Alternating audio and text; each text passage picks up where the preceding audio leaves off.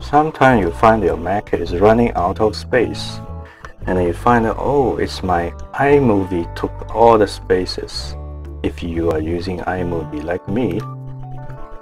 And my main SSD only have 512 uh, gigabit and sometimes iMovie took 200 of them which is unacceptable.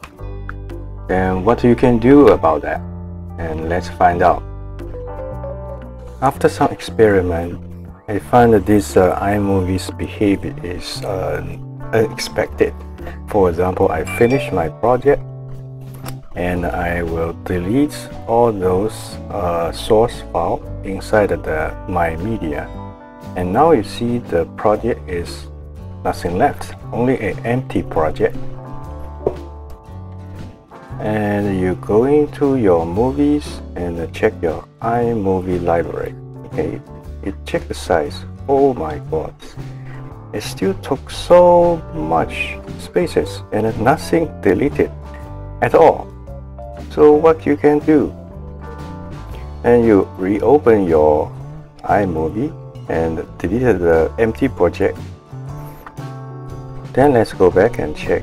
Now the library is emptied okay only took few case which is correct.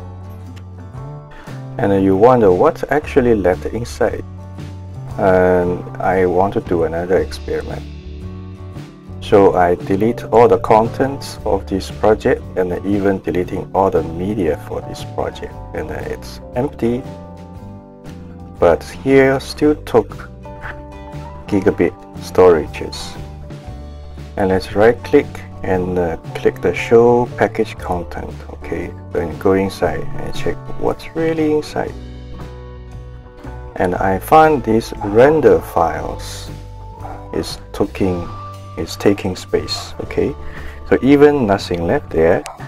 And in this folder there is some cache file which is maybe responsible for rendering your final product is still there and nothing got deleted. So maybe you can manually delete this one or you just delete this project once and for all. So previously I have a bad habit. I, I never delete this project even it's empty. So that means uh, all the cache file is still there and taking up space. If you have a SSD and your space is almost gone, your SSD's lifespan will be uh, reduced dramatically. And uh, also you can just delete all the iMovie library or iMovie theaters, these two folders, and once and for all. Once you reopen iMovie, these two folders will be created automatically. Or you have another choice is to relocate these two folders to another place, just like your iTunes library or music library. Just hold the Option key uh, and launch iMovie.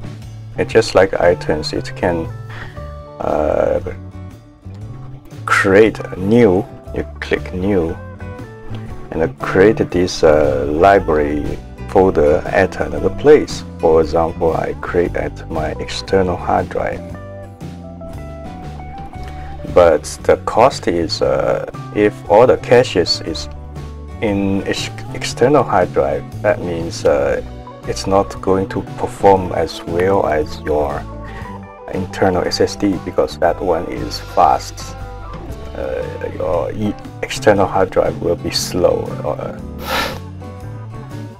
So it's your choice if you want to keep your uh, library at external or internal. Uh, for me, I still using internal and I will just maybe after finish a project, I delete the whole folder and make sure it will not take my space. Uh, if you want to keep all your project file, you, I think uh, you'd better move it to external hard drive because it will be very big. Okay, it's end of this video. If you find my video help you, please subscribe to my channel.